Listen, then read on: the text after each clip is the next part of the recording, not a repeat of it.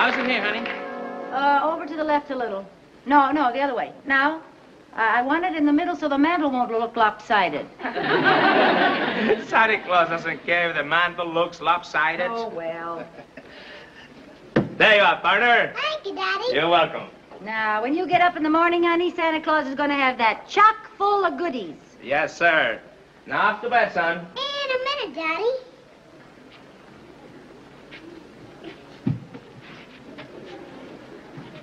What are you doing, dear? I'm waiting for Santa Claus. You've got to go to bed now. I'll go to bed after Santa Claus gets here. But, honey, Santa Claus is not going to come and bring the tree and the presents and everything until you go to sleep. He won't? No. Why, Mommy? Now, why is that, Daddy? Why?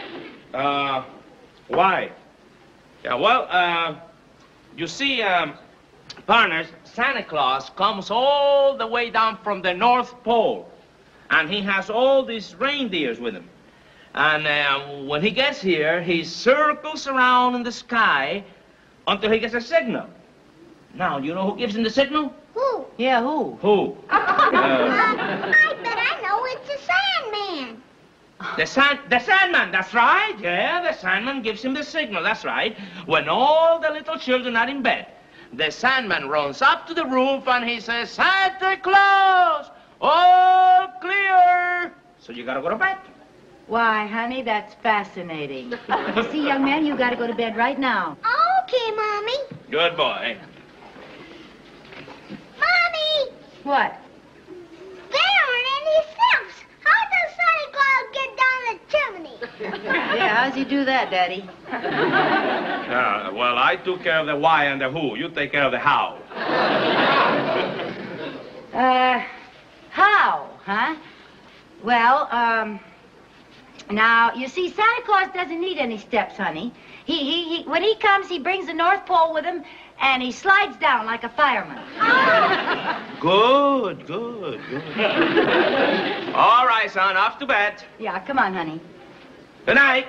Night, Daddy. Good night.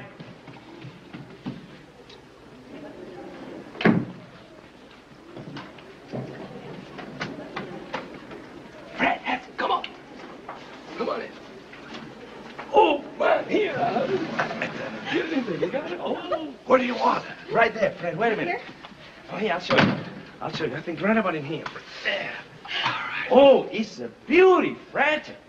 How much do I owe you? It's from us. Well, that's very generous of you. Oh, it was nothing. Nothing. The tree cost five bucks.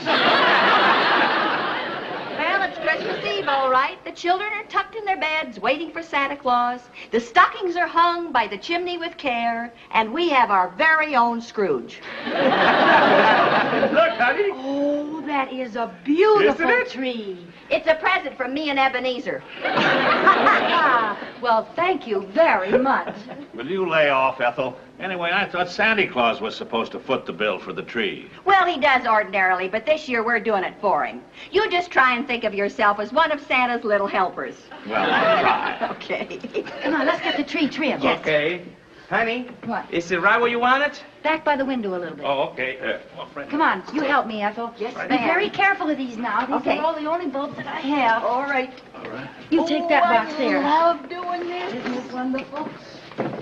Honey, Yes, dear. see how it looks from the front, eh? What do you think? Well, it looks pretty good, except there's a branch on the right side that spoils the shape. Which one, honey? This one right up here. Fred, will you go down to the basement and get your saw and cut that off for me? It's a little unbalanced. Oh, now, honey, maybe we can hang something there. He don't have to go all the way down to the basement Now, and look, get his honey, soul. the tree has to be balanced. You know that. We can't have one branch out like... I've been putting up trees with that kid for the last 15 years. he came prepared. That's right, Fred.